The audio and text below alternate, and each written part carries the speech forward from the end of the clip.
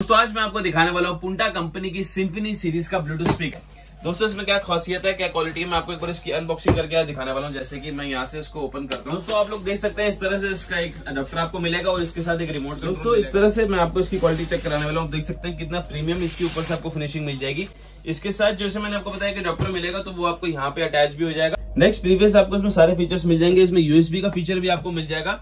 देख सकते हैं इसमें, जैसे पुंटा का आपको मोनोग्रामिंग आ गई। यहाँ पर आपका सबवूफर लगा है, जो कि आपका 5.25 पॉइंट टू फाइव इंच का सबवूफर रहेगा। 40 वर्ड्स का ये आपको ब्लूटूथ स्पीकर मिल जाएगा।